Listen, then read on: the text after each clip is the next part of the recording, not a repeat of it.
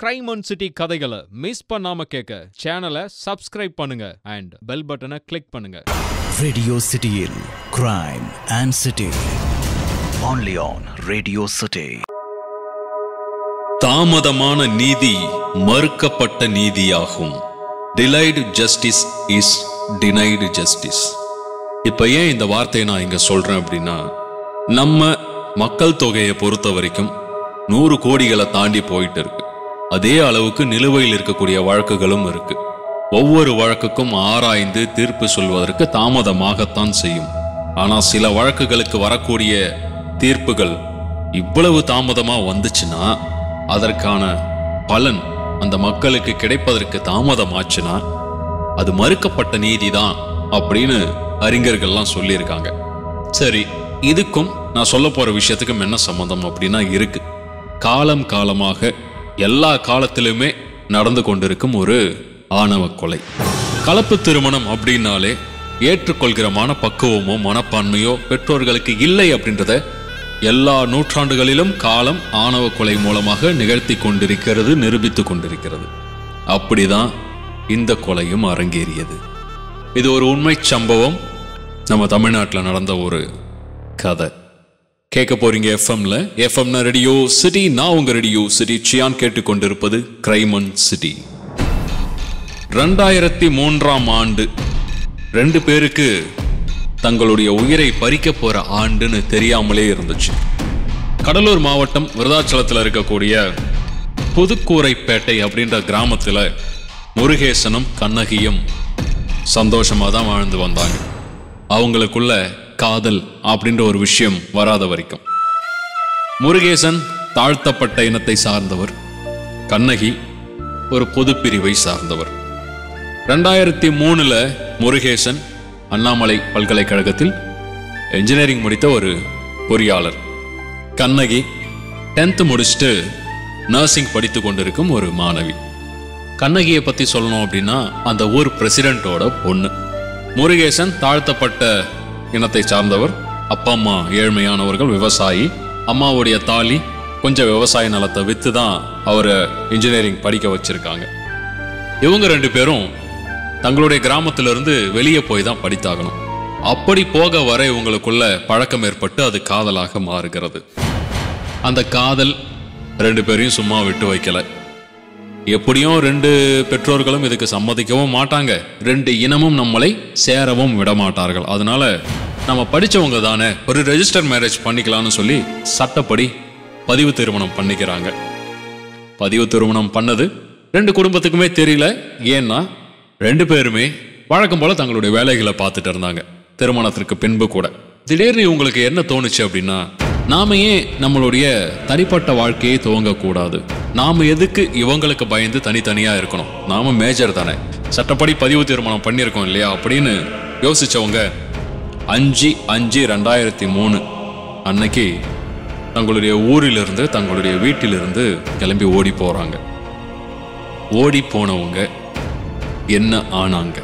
கடலூர் மாவட்டம் விருதாச்சலம் புத்துக்கூரப்பேட்டை கிராமத்தை சேர்ந்த எஸ் முருகேசன் டி கண்ணகி வேறு வேறு பிரிவை சேர்ந்தவர்கள் காதல் அவங்க ரெண்டு பேரையும் சேர்த்து வச்சிருச்சு ரெஜிஸ்டர் மேரேஜ் பண்ணிக்கிட்டாங்க ஊரை விட்டு ஓடி போயிட்டாங்க. அவங்க நல்லபடியாக வாழ்ந்தாங்களா? அவர்களுடைய காதல் ஏற்றுக்கொள்ளப்பட்டதா? ஏன்னா இது கலப்பு திருமணம். இரண்டு இனம் மக்களிடையே ஒரு சமரசம் ஏற்பட்டுச்சா? அப்படின்னா அதுக்கு வாய்ப்பே இல்லை அப்படின்ற மாதிரி தான் இந்த கதை நடந்திருக்கு. சரி வீட்டை விட்டு ஓடி போனவங்களுக்கு அடைக்கலம் கொடுத்தது யார்? தெரிஞ்சுக்கலாம் எஃப்எம்ல எஃப்எம் ரேடியோ சிட்டி நான் உங்க ரேடியோ சிட்டி சியான் கேட்டுக்கொண்டிருப்பது கிரைமன் சிட்டி ஒரு பிரசிடென்ட் பொண்ணை காணோம் அப்படின்னு அந்த ஊரே பரபரப்பாயிடுச்சு. ஒரு கட்டத்தில் தான் தெரிய வருது அந்த பொண்ணு தாழ்த்தப்பட்ட இனத்தை சேர்ந்த முருகேசனை காதலிச்சிருக்கா. அதனால ரெண்டு பேரும் ஓடி போயிட்டாங்க அப்படின்னு. இந்த காதல் விவகாரம் தெரிய வரும்போது இந்த பிரசிடென்ட் அவரை சுற்றியுள்ள அவரது மக்கள் அவரது இனம் ரொம்ப பரபரப்பாயிட்டாங்க. கொதிச்சு கொந்தளிச்சு முருகேசனுடைய இனத்தை சேர்ந்தவர்கள் யார் கிடைச்சாலும் அடிக்க ஆரம்பிச்சாங்க. இந்த நேரத்தில் தன்னுடைய காதல் மனைவி கண்ணகியை தன்னுடைய சித்தப்பா வீட்டிலையும் இவர் தன்னுடைய பெரியப்பா வீட்லேயும் தனித்தனியா தங்கியிருக்காங்க. முருகேசனும் கண்ணகியும். ஏன் அப்படின்னா ஒருவேளை மாட்டிக்கிட்டா ரெண்டு பேரும் ஒன்றா மாட்டிக்க கூடாது அப்படின்றதுக்காக கொஞ்ச நாளைக்கு தனித்தனியா இருப்போம் அப்படின்ற ஒரு ஐடியாலஜி பண்ணி. இதுக்கு நடுவுல ஊருக்குள்ள இந்த விஷயம் தீப்பற்றி எரிகிறது. ஊர் பிரசிடென்ட் இல்லையா? அவருக்கு அதிகாரம் இருக்கு. அந்த அதிகாரத்துக்கு அந்த ஊரே கட்டுப்படும். அப்படி இருக்கிற பட்சத்துல இவர்கள் தாழ்த்தப்பட்டவர்கள் முருகேசனுடைய அப்பா அம்மா. அவங்களுடனான சண்டை ரொம்ப பெரிதாகிறது. அந்த ஃபேமிலியில எல்லாரையும் டார்ச்சர் பண்ண ஆரம்பிக்கிறாங்க. இந்த டார்ச்சர் எப்படிப்பட்டது அப்படின்னு கேட்டிங்கன்னா இந்த கடலூர் டிஸ்ட்ரிக்ட்ல எல்லா கிராமங்களிலுமே நிலக்கரி எடுப்பதற்கான சோதனை நடத்தப்படும். அந்த சோதனை எப்படி பண்ணுவாங்க அப்படின்னா கிட்டத்தட்ட ஒரு முந்நூறு அடி ஆழத்துக்கு பள்ளம் தோண்டுவாங்க. ஏன்னா அதுக்கப்புறம் தான் அந்த நிலக்கரி கிடைக்கும். நிலக்கரி கிடைச்சா அங்கேருந்து அதை பயன்படுத்துவாங்க. அப்படி இல்லைன்னா அந்த குழியை சீல் பண்ணிட்டு போவாங்க. சில நேரங்களில் சீல் பண்ணாமல் போயிடுவாங்க. அப்படி சீல் பண்ணாமல் இருக்கக்கூடிய குழிகளில் நிறைய கொலைகள் நடந்திருக்கு அப்படின்றது அந்த ஊருக்கான ரெக்கார்ட் சொல்லுது. கடைசி வரைக்கும் கண்டுபிடிக்கப்படாத நிறைய கொலைகள் அந்த முன்னூறு அடி ஆழத்தில் தான் இருக்குன்னு அந்த ஊர் மக்கள் சொல்லுவாங்க. அதே மாதிரி முருகேசனுடைய சித்தப்பாவை அந்த ஊர் பிரசிடென்ட் அதாவது கண்ணகியுடைய அப்பா அந்த முன்னூறு அடி குழியில் தலைக்கீழே கயிறு கட்டி தொங்க விட்டு டார்ச்சர் பண்ண ஆரம்பித்ததில் சித்தப்பா உண்மையெல்லாம் சொல்ல ஆரம்பிக்கிறார். இதுக்கு நடுவில் தன்னுடைய மகனை தேடி அதாவது முருகேசனை தேடி முருகேசனுடைய தந்தை ஒரு பக்கம் பயணப்படுறார். இந்த பக்கம் முருகேசனுடைய அம்மா வாயிலையும் வயிற்றுலையும் அடிச்சுக்கிட்டு மன்றாடிட்டு இருக்காங்க. உண்மையை சொன்ன முருகேசனுடைய சித்தப்பா விடுவிக்கப்படுறாரு. ஆனால் அது இவ்வளவு பெரிய பிரச்சனையில போய் முடியும்னு தெரிஞ்சிருந்தா கண்டிப்பா அவர் சொல்லியிருக்க மாட்டார். டார்ச்சர் தாங்காமல் உண்மையை சொன்னவர் முருகேசன் தங்கியிருக்கிற இடத்த மட்டும்தான் சொன்னாரே தவிர கண்ணகியுடைய இடத்த சொல்லவே இல்லை. தமிழகத்தையே உலுக்கிய ஒரு வழக்காக தான் இந்த கேஸ் நடக்கும்போது இது பார்க்கப்பட்டது. ஏன் அப்படின்னா கலப்பு திருமணத்தில் ஆணவ கொலை. ஆக ரெண்டு பேருமே இறந்து போயிட்டாங்க அப்படின்றது கதையை முழுசா கேட்கறதுக்கு முன்னாடியே நமக்கு தெரிஞ்சாலும் கூட இது எப்படி நடந்துச்சு அப்படின்றத தான் உங்ககிட்ட சொல்லிட்டு இருக்கேன். புத்துக்கோரப்பேட்டை கிராமத்தில் நடந்த இந்த கொடூர மரணம். கொடூரம் அப்படின்னா எந்த அளவுக்கு கொடூரம் அப்படின்றத நீங்கள் போக போக தெரிஞ்சுக்குவீங்க. அவங்க சித்தப்பாவை அந்த முந்நூறு அடி குழியில் கயிறு கட்டி தலைக்கீழ தொங்க விட்டு பண்ண டார்ச்சரில் அவர் முருகேசன் இருக்கக்கூடிய இடத்த சொல்லிட்டாரு. அடுத்தது என்ன? தெரிஞ்சுக்கலாம் எஃப்எம்ல. எஃப்எம் ரெடியோ சிட்டி நான் உங்கள் ரெடியோ சிட்டி. சியான் கேட்டுக்கொண்டிருப்பது கிரைம் ஒன் சிட்டி. சின்னதாக துருப்பு சீட்டு கிடைச்சா போதாதா? ஒட்டுமொத்த இனமும் அதாவது பிரசிடென்ட் இனத்தைச் சேர்ந்தவர்கள் அனைவரும் முருகேசனுடைய சித்தப்பா சொன்ன இடத்துக்கு போயிட்டு முருகேசனை அடிச்சு துவைச்சி எடுத்துட்டு வந்தாங்க. வரும்போதே அரை நிர்வாணமாக இருந்த முருகேசன் ஊருக்குள்ள வரும்போது முழு நிர்வாணமாக்கப்பட்டான். இதுல என்ன கொடுமை அப்படின்னா அந்த ஊர்ல இருக்கிற எல்லாருமே அடிக்க ஆரம்பிச்சாங்க. போறவங்க வரவங்க இந்த நிகழ்வுக்கும் இந்த குடும்பத்திற்கும் சம்பந்தம் இல்லாதவங்கன்னு சொல்லி எல்லாருமே அடிக்க ஆரம்பிச்சாங்க. கீழ் ஜாதிக்கார பைய உனக்கு எங்க வீட்டு பொண்ணு கேக்குதா அப்படின்ற வாசகம் மட்டும் அப்பப்போ எல்லாருடைய காதுகளிலும் சத்தமாக கேட்டுக்கொண்டிருந்தது. இந்த இடத்துல முருகேசனுடைய அம்மா எல்லார் கால்லையும் விழுந்து கெஞ்சி கூத்தாடுறாங்க என் பையனை அடிக்காதீங்க விட்டுடுங்க அப்படின்னு சொல்லி. இதை ஒரு ட்ரம்ப் கார்டா பிரசிடென்ட்டுடைய குடும்பம் பயன்படுத்துகிறது. சரி உன் பையனை நான் உயிரோட விட்டுறேன். என் பொண்ணு இருக்கக்கூடிய இடத்த சொல்லு. நான் என் பொண்ணை கூப்பிட்டுக்கிட்டு நான் எங்கேயாவது கண்காணாமல் போயிடுறேன். அப்படி இல்லைன்னா நீங்கள் இந்த ஊரை விட்டு எங்கேயாவது போயிடுங்க அப்படின்ற பேச்சுவார்த்தையின் மூலம் கண்ணகி இருக்கிற இடமும் முருகேசன் மூலமாக கேட்டறியப்படுகிறது. அப்புறம் என்ன? கண்ணகியும் அங்கேருந்து அடித்து இழுத்து வரப்படுறாங்க. அந்த ஊருக்கு நடுவில் இருக்கிற ஒரு கோயில் முன்னாடி இந்த கொடூரம் அரங்கேறி கொண்டிருக்கிறது.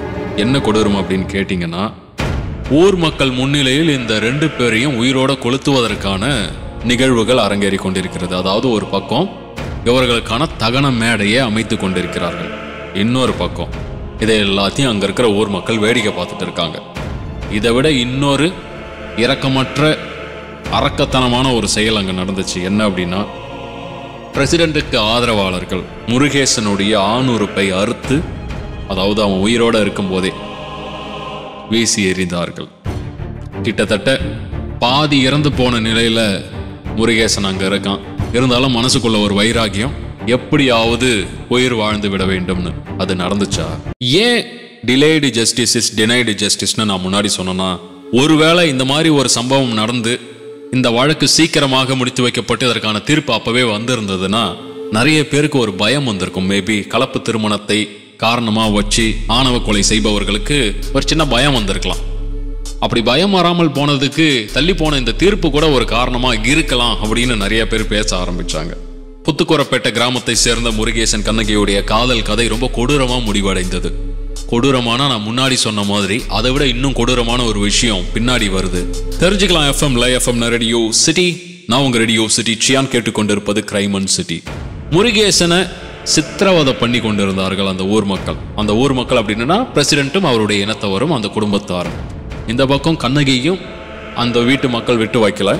ஐ மீன் பிரசிடென்ட் சொந்தக்காரங்க விட்டு வைக்கல. எவ்வளவு அடிக்க முடியுமோ அடிச்சாங்க. ஒரு கட்டத்துக்கு மேலே கோபம் பொறுக்க முடியாத கண்ணகி எல்லாரையும் பார்த்து கத்த ஆரம்பிச்சாங்க திட்ட ஆரம்பிச்சாங்க. நீங்களாம் ஆம்பளைங்க தானாடா. நீங்களாம் மனுஷங்க தானா. நாங்கள் எங்கேயாவது வாழ்ந்துட்டு போகிறோம் உங்களுக்கு என்னடா பிரச்சனை? இந்த வார்த்தை அங்கிருந்தவர்களை மீண்டும் அதிகமாக உஷ்ணமூட்டியது கோபப்படுத்தியது. இந்த நேரத்தில் கண்ணகியுடைய அண்ணன் மருது பாண்டியன் ஒரு விஷ பாட்டில் எடுத்துகிட்டு வந்து அவங்க உயிரோடு இருக்கும்போதே அவங்கள விஷம் ஊற்றி கொன்னு ஊர் முன்னாடி எரிக்கணும் அப்படின்ற ஒரு கொலை வெறியில் இருக்கான். அங்கேருந்த முருகேசனை நோக்கி போய் அவன் வாயில் விஷத்தை ஊற்றணும் அப்படின்னு சொல்லி கடுமையாக முயற்சி செஞ்சுட்டு இருக்கான். முருகேசன் முடிந்தவரை அந்த விஷத்தை விழுங்காமல் துப்பிக்கிட்டே இருக்கா அப்படி. ரொம்ப கோபம் அடைஞ்ச அந்த மருதுபாண்டி என்ன பண்ணான் கையில் இருந்த அருவாளால் முருகேசனுடைய வாயை முழுசுமா கிழிச்சு அந்த கிழிந்த வழியாக முழு விஷத்தையும் ஊற்றலாம் அதே மாதிரி இந்த பக்கம் கண்ணகியை எல்லாரும் ரொம்ப இறுக்கமாக பிடிச்சிக்கிட்டாங்க. அவளும் அதை குடிக்கலை. அவளுக்கு காது வழியாகவும் மூக்கு வழியாகவும் அந்த விஷம் ஊற்றப்பட்டது. இப்போ ரெண்டு பேரும் தகன மேடையில் படுக்க வச்சாச்சு. அந்த நேரத்தில் அந்த பக்கமாக எஸ்ஐ தமிழ்மாறன் வர எல்லாரும் பயந்து போக யார் இந்த விஷயத்த தெரிவிச்சாங்க அப்படின்னு அதிர்ச்சியில் நிற்க ரொம்ப கேஷுவலாக தமிழ்மாறன் பெண் வீட்டார் கொடுத்த ரெண்டு லட்சம் ரூபாய் பணத்தை வாங்கிக்கிட்டு சீக்கிரம் சீக்கிரம் வேலையை முடிச்சு விடுங்க அப்படின்னு கிளம்பி போனது இன்னும் அதிர்ச்சியை அளித்தது. கொஞ்ச நேரத்தில் முருகேசனும் கண்ணகியும் தீக்கு இரையாக்கப்பட்டார்கள் உயிரோடு. கலப்பு காதல் காலனிடம் போய் சேர்ந்தது.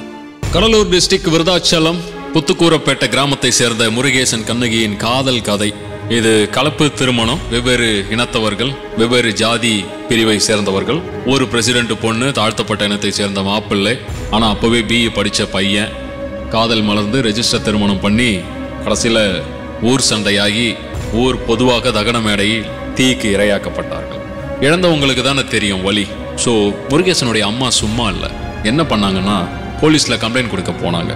அங்கே என்ன ஆச்சுன்னா தெரிஞ்சுக்கலாம் எஃப்எம்ல எஃப்எம் ரேடியோ சிட்டி நான் உங்கள் ரேடியோ சிட்டி சியான் கேட்டுக்கொண்டிருப்பது கிரைமன் சிட்டி பெத்த மகனை இழந்த தாய் போலீஸ் ஸ்டேஷனில் கத்தி கதறி என் கம்ப்ளைண்ட்டை எடுத்துக்கோங்க இதை கேஸ் எடுங்க. ஊர் முன்னிலையில் என் மகன் சித்திரவதை செய்யப்பட்டு கொலை செய்யப்பட்டிருக்கிறான் அப்படின்னா அந்த ஏழை தாயினும் வாக்கு மூலம் யார் காதுகளிலும் விழவில்லை. ஏன் அப்படின்னா அவங்களுடைய இனம் அதாவது அவங்களுடைய கேஸ்ட் ஒரு பக்கம் ரெண்டாவது ஒரு பிரசிடென்ட்டை மீறி ஒன்றும் பண்ண முடியாது அப்படின்னு சட்டம் படித்த லா அண்ட் ஆர்டரை காப்பாற்றி கொண்டிருக்கும் காவல்துறையும் அவர்களுக்கு கட்டுப்பட்டு போனது. ஏன்னா கை நீட்டி ரெண்டு லட்சம் ரூபாய் அவர் வாங்கியிருக்கார். தமிழ் மாறன். ஸோ இவங்களை எவ்வளவு கீழ்த்தரமா பேச முடியுமோ பேசி அடிச்சு அந்த போலீஸ் நிலையத்தை விட்டு வெளியில தருத்துறாங்க. இந்த நேரத்தில் இந்த கேஸ் அதாவது இந்த விஷயம் மீடியாக்காரர்களுக்கு தெரிய வருது. இப்படி ஒரு சம்பவம் நடந்திருக்கு இந்த கிராமத்தில். இதை யாருமே கவனிக்கவே இல்லை அப்படின்ற ஒரு விஷயம் போதாகரமாக்கப்படுகிறது மீடியாக்களால். ஸோ இப்போ ப்ரெஷர் எல்லா பக்கமும் போகிறது. இப்போ காவல்துறையினர் கேஸ் ஃபைல் பண்ணி ஆக வேண்டிய கட்டாயத்துக்கு தள்ளப்படுறாங்க. ஏன் அப்படின்னா இரட்டை கொலை வழக்காக இது எல்லா பத்திரிகைகளிலும் பிரசுரிக்கப்படுகிறது. ஸோ இப்போ கேஸ் எடுத்து தான் ஆகணும். வேற வழி இல்லாமல் இந்த இரட்டை கொலை வழக்கை போலீஸ் பதிவு செய்கிறது.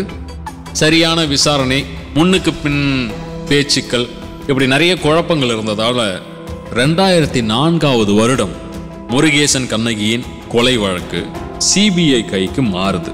சிபிஐ தன்னுடைய நேரங்களை எடுத்துக்கொண்டு இந்த வழக்குக்கு பின்னாடி என்ன இருந்துச்சு வழக்குக்கு முன்னாடி என்ன இருந்துச்சு எதனால் இந்த கொலை நடத்தப்பட்டது இவங்க எந்த இனத்தை சேர்ந்தவர்கள் அவங்க எந்த இனத்தை சேர்ந்தவர்கள் இதுக்கு யார் யாரெல்லாம் தூண்டுதலாக இருந்திருக்கிறாங்க அப்படின்ற விஷயங்களெல்லாம் ஆராய்ந்து எல்லார் மீதும் வழக்கு பதிவு செய்து கேஸ் கிட்டத்தட்ட பதினெட்டு வருஷம் நடந்துச்சு. இப்போ புரிஞ்சிருக்கும்னு நினைக்கிறேன். ரெண்டாயிரத்தி மூணில் நடத்தப்பட்ட இந்த இரட்டை கொலைக்கான தீர்ப்பு பதினெட்டு வருஷம் கழிச்சு தான் வந்தது. So delayed justice is denied justice அப்படின்றது இப்போ எல்லாருக்கும் புரிய வந்திருக்கும். அதை தான் எல்லாரும் சொல்ல ஆரம்பித்ததும் கூட. சரி பதினெட்டு வருஷம் கழிச்சு தீர்ப்பு வந்தது. எப்படி வந்துச்சு? முருகேசன் கண்ணகி இரட்டை கொலை வழக்கு. பொத்துக்கோரப்பேட்டை கிராமத்தில் நடந்த கொடூரமான இந்த சம்பவத்திற்கான தீர்ப்பு பதினெட்டு வருஷம் கழிச்சு வந்தது. கடலூர் கோர்ட்டில் இந்த தீர்ப்பு வரும்போது கிட்டத்தட்ட இந்த குற்றவாளிகள் எல்லாருக்குமே வயசாகி போயிருந்தது. இதில் இன்னொரு முக்கியமான விஷயம் ரெண்டு லட்ச ரூபாய் லஞ்சம் வாங்கி கொண்டு இந்த கொலையை கண்டும் காணாமல் போன காவல்துறை அதிகாரி ரிட்டையர்மெண்ட்டே வாங்கியிருந்தார். செப்டம்பர் இருபத்தைந்து ரெண்டாயிரத்தி இருபத்தொன்னில் தான் இந்த கேஸுக்கான தீர்ப்பு வந்தது. கடலூர் ஸ்பெஷல் கோர்ட் கண்ணகியின் சகோதரனான மருது பாண்டியனுக்கு தூக்கு தண்டனை விதிச்சாங்க. கண்ணகியின் தந்தையான துரைசாமிக்கு ஆயுள் தண்டனை விதிக்கப்பட்டது. இந்த கேஸ் வந்து எப்படி ரெஜிஸ்டர் பண்ணியிருந்தாங்கன்னா scheduled caste and scheduled tribes prevention of atrocities அந்த பகுதியின் கீழ் இந்த வழக்கு பதியப்பட்டு அப்படி தான் அதற்கான தீர்ப்புகளும் வழங்கப்பட்டது. ஆக்ட் நைன்டீன் எயிட்டி நைன் பிரகாரம். அதாவது இந்த இரட்டை கொலை வழக்கு அப்படின்றது மனித கலாச்சாரத்திற்கு எதிரானது மிகவும் கொடூரமானது. ஸோ இந்த பனிஷ்மெண்ட் இந்த மாதிரி கலப்பு திருமண தம்பதிகளை ஆணவ கொலை செய்யும் அனைவருக்கும் ஒரு எச்சரிக்கையாக எடுத்துக்கொள்ள வேண்டும் அப்படின்னு சொல்லி தான் அந்த ஜட்ஜ்மெண்ட்டே கூறப்பட்டது. எஸ்சி எஸ்டி நீதிபதி உத்தமராசா அவர்கள் நீதியரசர் அவர்கள் தான் இதற்கான நீதியை வழங்கினாரு. மருதுக்கு தூக்கு மற்ற அனைவருக்கும் ஆயுள் தண்டனை ஈவன் அந்த காவல் அதிகாரி உட்பட எல்லாருக்குமே கொடுத்துருந்தாங்க. என்னதான் நம்ம ஊருக்குள்ள பள்ளிக்கூடங்கள்ல கல்லூரிகள்ல சாதிகள் இல்லையடி பாப்பா அப்படின்னாலும் கூட இன்னைக்கும் சாதி அப்படின்றது செத்து போன எல்லாருடைய கண்ணீரஞ்சலி போஸ்டர்ல அவங்களுடைய பேருக்கு பின்னாடி ஒட்டிட்டு தான் இருக்கு. சும்மா வீம்புக்காக நிறைய கதைகள் பேசினாலும் கூட எல்லாருடைய உள்ளுக்குள்ளேயும் அந்த சாதி அப்படின்ற ஒரு சாயம் ஒட்டிக்கிட்டு தான் இங்கே இருக்கு. முடிந்தவரை அடுத்த தலைமுறைக்கு இந்த விஷத்தை பரப்பாமல் வளர்த்தோம் அப்படின்னா ஒரு நல்ல ஆரோக்கியமான சமுதாயம் கட்டமைக்கப்படும்னு எல்லாரும் நம்புறாங்க. நாமளும் நம்புவோம். மீண்டும் அடுத்த வாரம் வேறு ஒரு கதையோடு வந்து உங்களை சந்திக்கிறேன். தொடர்ந்து கேளுங்க எஃப்எம் எஃப்எம் ரேடியோ சிட்டி நான் உங்க ரேடியோ சிட்டி சியான் கேட்டுக்கொண்டிருப்பது கிரைமன் சிட்டி